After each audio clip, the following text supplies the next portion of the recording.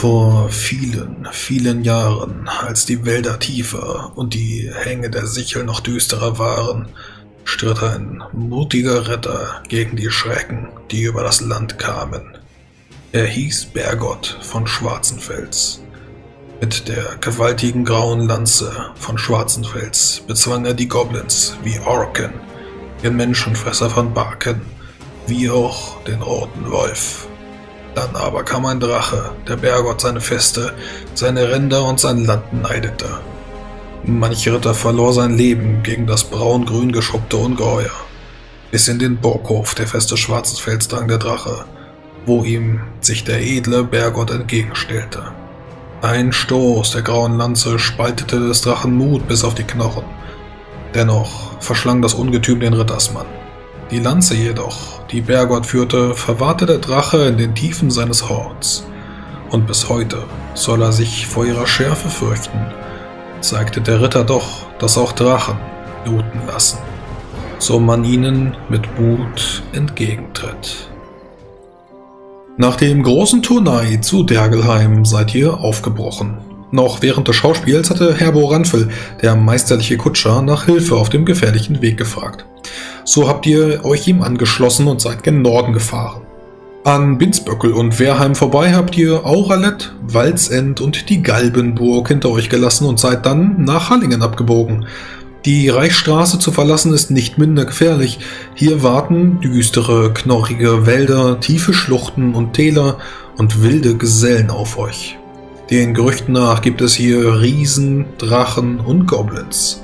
Nachdem ihr drei Überfälle von Mordbuben vereiteln konntet, erreicht ihr nun erschöpft, freiherrlich, trutzburgisch Hallingen. Ein sicheres Dorf im Schatten der Steine mit 500 Einwohnern laut einem Schild.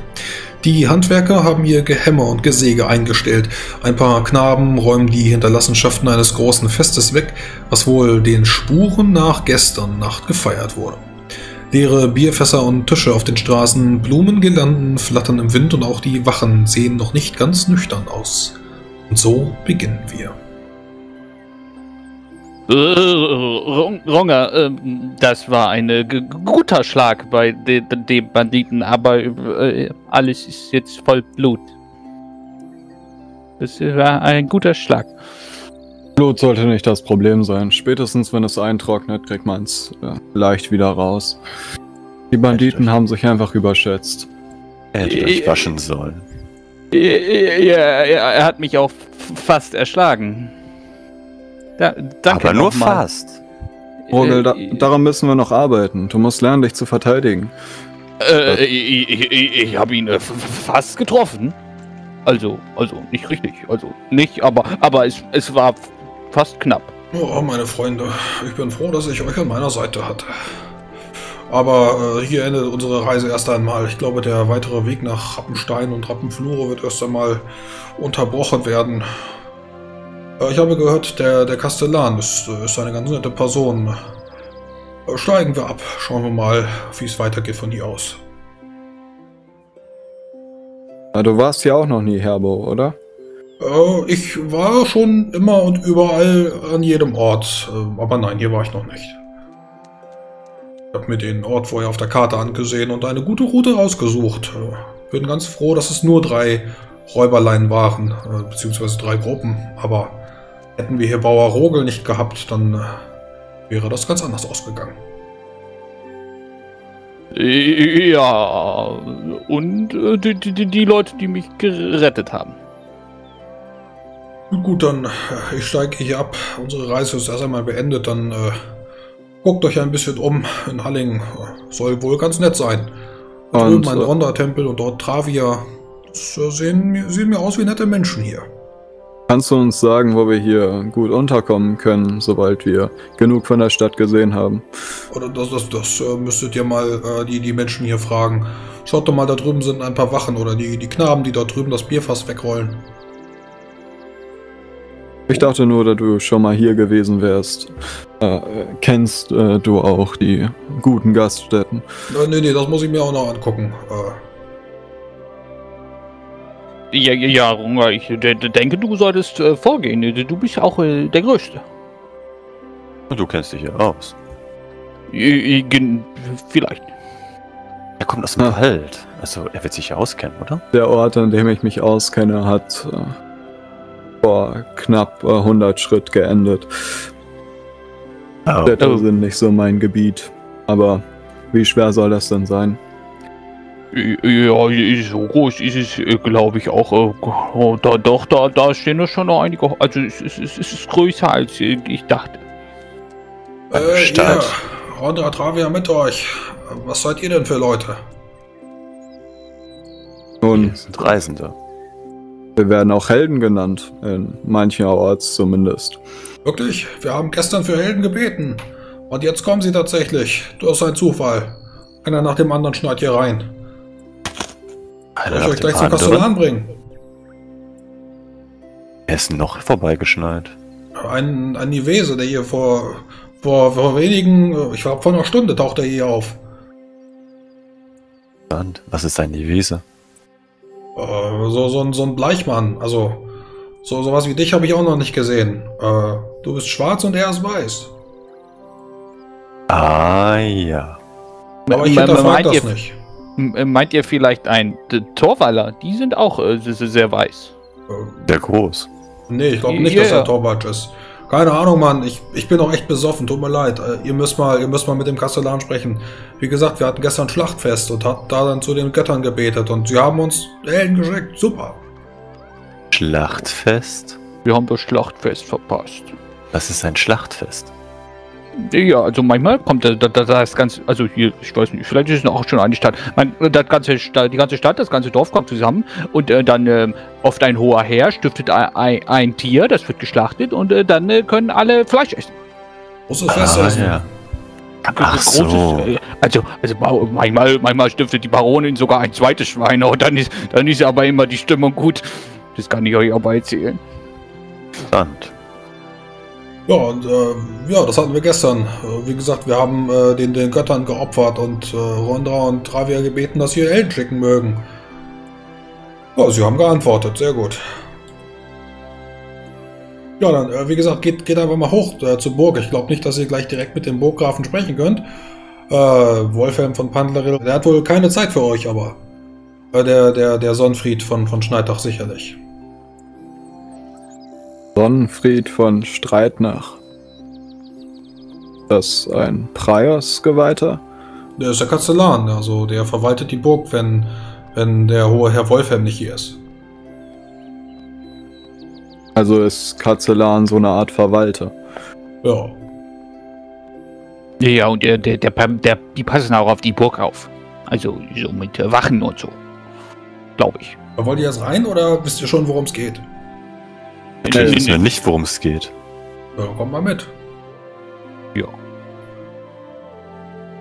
So könnt ihr dem leicht angetrunkenen Wachmann noch folgen, der über den Burgplatz geht, äh, euch dann nach drinnen bringt, über mehrere kalte Flure, einige Teppiche, die dort noch äh, hängen und das Ganze wohl so ein bisschen vor dem Wind zu schützen versuchen. Aber spätestens, wenn der Winter einbricht, wird es sicherlich sehr, sehr kalt werden. Das könnt ihr jetzt auch schon spüren. Dann wird die Tür aufgemacht und ihr könnt einen großen Raum erkennen, an dem zwei Männer an einem Tisch stehen. Ähm, ein Mann, äh, der hier wohl mit seinem Wappenrock auch äh, zu den Wachen selber passt und wohl dann der Kastellan Sonnenfried von Schneidach sein soll und eine Person, ähm, die hier gar nicht reinpassen scheint. Ein äh, relativ kleiner, weißer Mann mit einem dicken Fellumhang und einem Wolf neben sich. Äh, Ronge, sie, sie, siehst du auch den, den, den Wolf? Das ist aber mal ein Tier. Der scheint abgerichtet zu sein. Bert, was soll denn diese Unterbrechung? Verzeiht, Herr Kastellan, das sind weitere Helden, die, die gerade vorstellig wurden. Ich dachte, ich bringe sie direkt zu euch. Oh, das hast du gut gemacht, Bert. Dann äh, geh bitte und mach die Tür zu.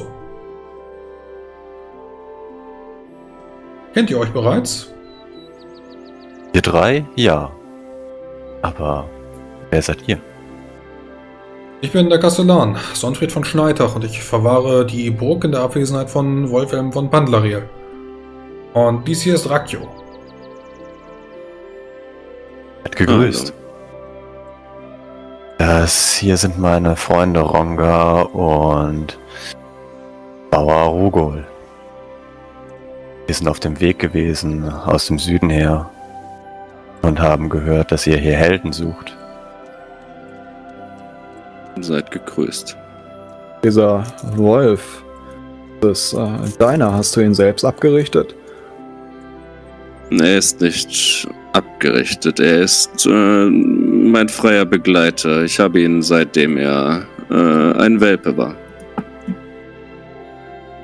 Ein Und unabgerichteter Wolf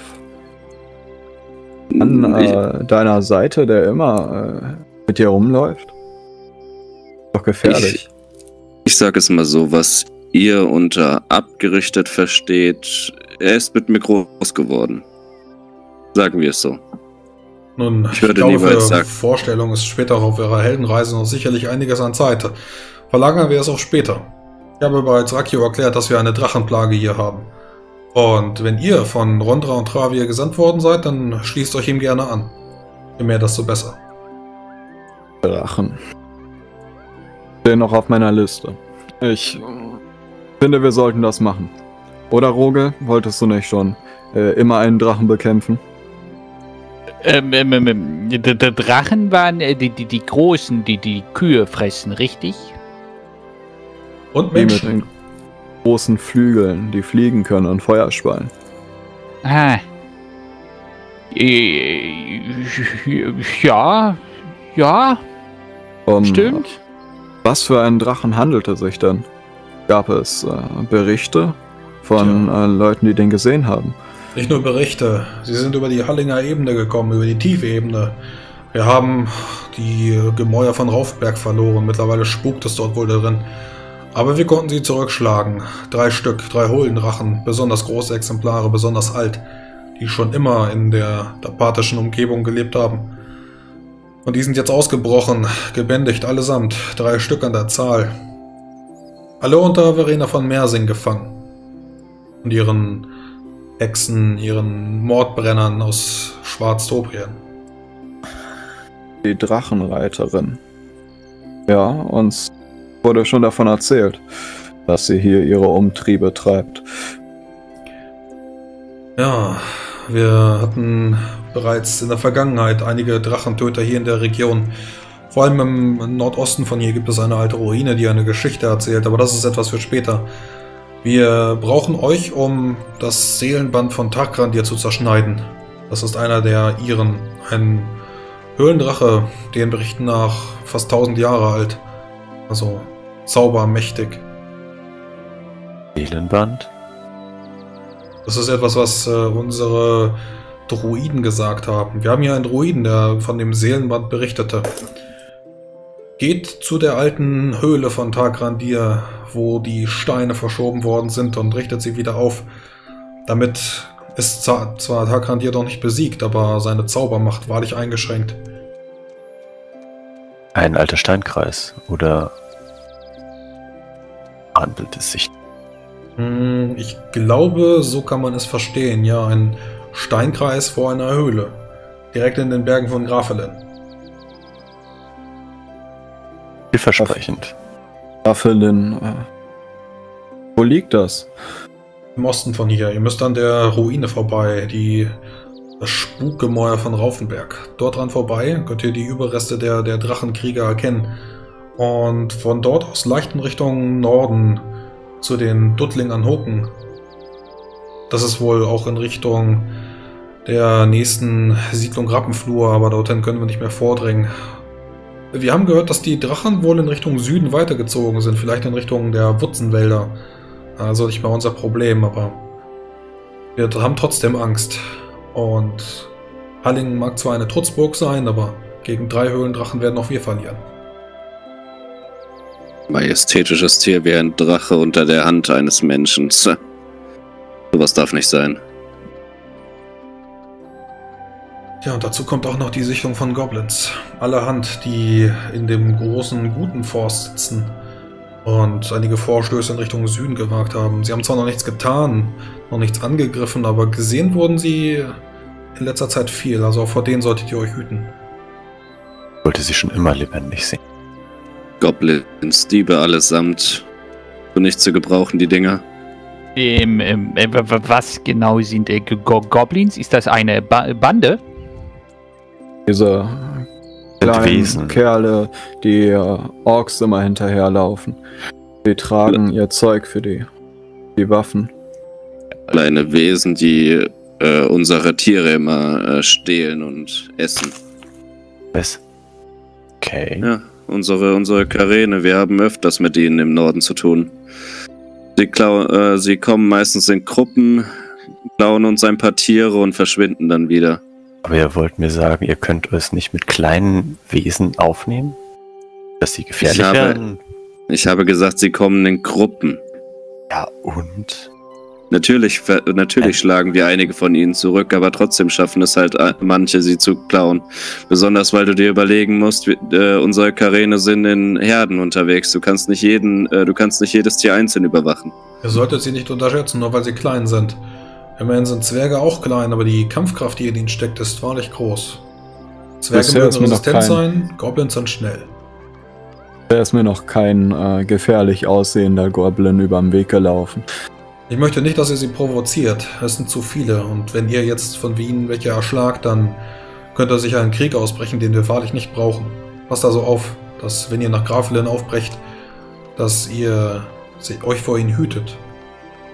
Außerdem vergesst nicht, alleine sind sie vielleicht schwach, aber kommen Hunderte auf euch zu, dann will ich mal sehen, wie ihr sie alleine besiegt. Ich, sollten wir vielleicht ein, ein Geschenk mitbringen? Vi- Vielleicht ein Huhn? Wenn sie doch immer Tiere klauen, haben sie vielleicht Hunger. Und dann ist ein Huhn doch ein gutes Geschenk. Das ist eine gute Idee, Roger. Warum nehmen wir nicht einen Huhn mit? Huhn mit? Den schenken wir dann den Goblins, damit sie uns in Ruhe lassen. Auch wenn ich kaum glaube, dass ein Huhn genug für diese gefräßigen Dinger ist. Äh, Wenn ihr möchtet, kaufe ich auch zwei. Aber, aber sie sind doch nicht groß, dann müsste doch ein Huhn pro Goblin reichen, oder? Sie sind aber viele. Willst du jetzt 100 Ein- Hühner mitnehmen? N- n- Nein, ich habe ja nur zwei gleich. Hände. Also zwei, dachte ich. Eins in jeder Hand. Also, ihr habt eure Aufgabe. Ähm, ich bin jetzt selber kein Druide und äh, weiß selber nicht, wie dieser Steinkreis aussieht, aber äh, ihr seht mit Zauber mächtig aus. Auch wenn ich nicht weiß, wie ihr heißt, aber Namen sollen in diesem Fall keine Rolle spielen. Brecht also auf nach Grafelen, richtet den Steinkreis wieder auf und schneidet den, die Zaubermacht von Takrandi ab. Viel Erfolg. Rondra und Ravia mit euch. Nun, äh, bevor wir gehen, wollte ich äh, euch noch wissen lassen, dass wir das Gefolge von äh, Baron Travigor von Wanlet sind. Falls äh, ihr eurem Herrn sagen wollt, bei wem er sich bedanken darf. Hm, ein anderer Baron also. Den Namen habe ich noch nie gehört, aber werde ihn mir notieren und dem Burggrafen weitergeben. So ist es. Er ist ebenfalls mit uns in diese Stadt gereist. Ihr könnt ihn sicher hier irgendwo finden. Dann werde ich mit ihm sprechen. Hab Dank. W wollt ihr dann jetzt äh, so- sofort los? Weil dann muss ich jetzt noch laufen und die Hühner kaufen. Ähm, wie weit ist denn der Tag schon vorangeschritten? Wir sind müde, ne? Äh, Wir waren den ganzen Tag unterwegs, oder? Ja, also ihr habt äh, das ein oder andere Mal natürlich auch gerastet, äh, seid jetzt über mehrere Tage dann hierher aufgebrochen. Ich würde sagen, es ist jetzt 12 Uhr, also Mitte des Tages. Und ihr könntet auch aufbrechen. Dann müsstet ihr so oder so sicherlich in der Wildnis übernachten.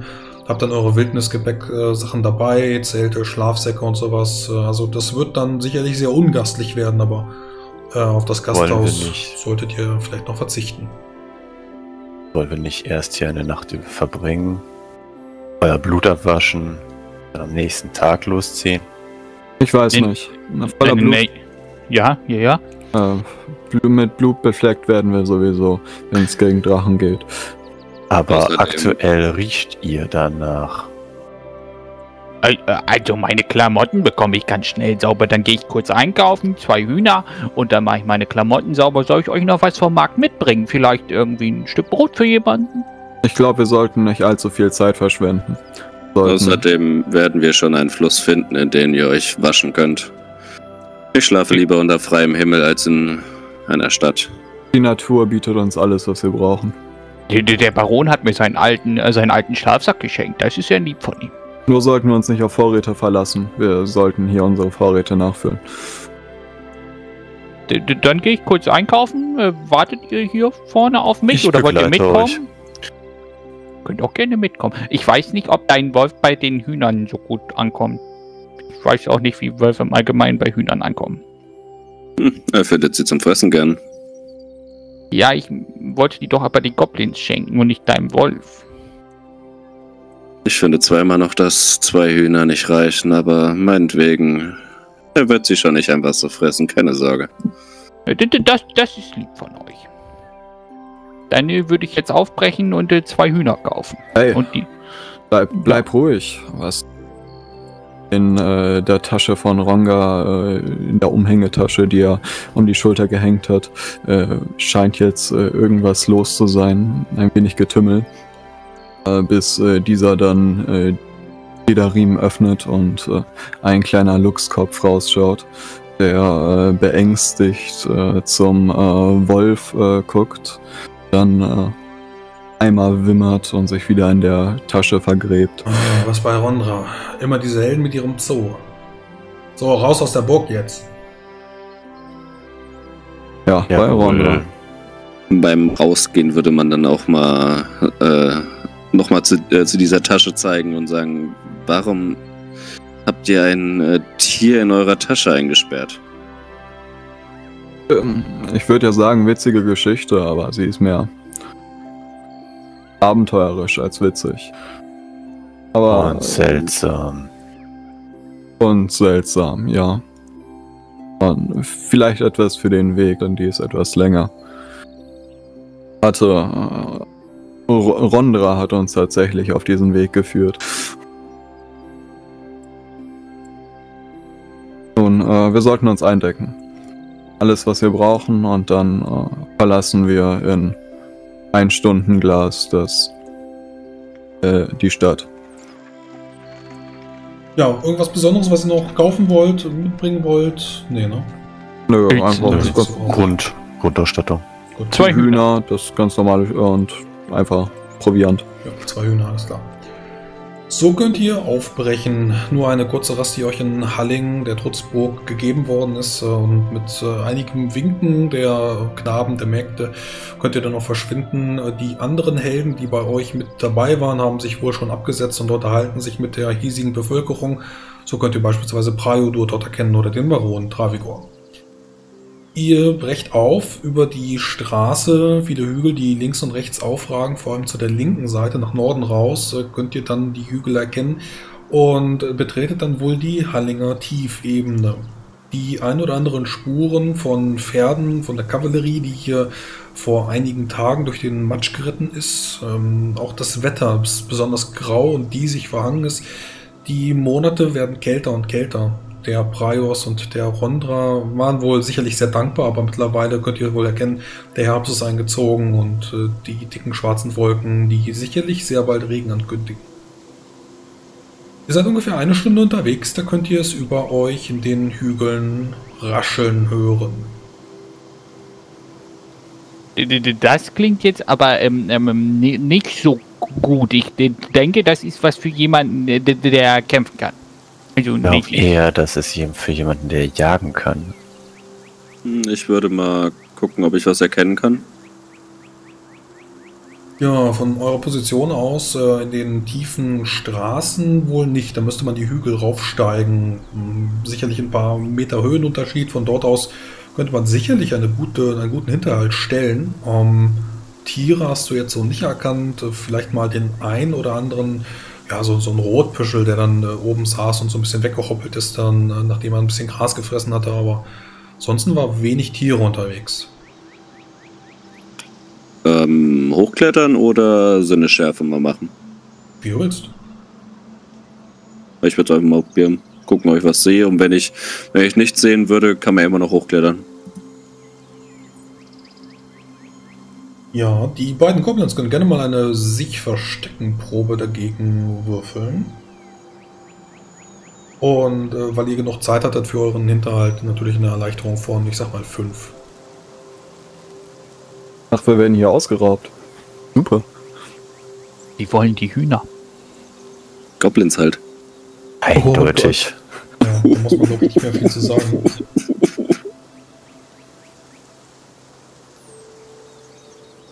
Okay. Äh, ja, Frage geht an dich. Äh, wir haben natürlich einen Schicksalspunkt, den du für eine beliebige Probe hast, um sie neu zu würfeln. Kannst du natürlich halten, wie du magst. Du kannst die Probe ganz neu würfeln oder nur einen Würfel. Ähm, ist dir überlassen. Möchtest du einen Schicksalspunkt benutzen oder nimmst du das so hin? Oh, ich nehme das so hin. Das ist jetzt nichts irgendwie, was äh, lebensbedrohlich ist, glaube ich. Ja, äh, ja, Rakio, du kannst Doch erkennen, nicht.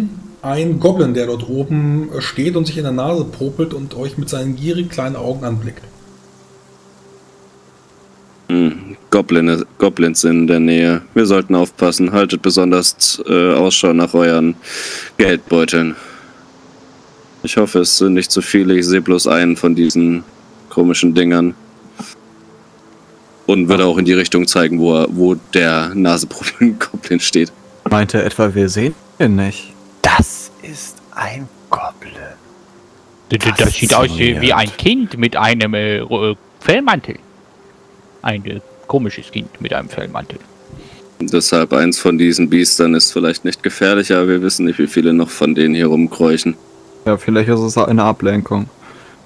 Ich, soll ich mal nach dem Gottlieb rufen? Ich habe ja die Hühner. Wir Also können so verhandeln, das ist Ja. eine sehr gute Idee. Warum nicht? Lass den die Hühner geben, dann dem wir wieder vonstatten. Gut, während die anderen da übers Handeln reden, nehme ich schon mal meinen Bogen raus. Ich Ja, äh, würde Goggle, mal. Moggle, Goggle, Moggle und Groggle, ihr habt die Gruppe von Reisenden natürlich gesehen, wie sie da mit ihren vier Leuten durch die Landschaft stratzen. Unglaublich laut, unglaublich rücksichtslos und äh, kommen dann die Straße entlang, ein bisschen Wind in der Fahrt, äh, an euch vorbei. Was mögt ihr tun?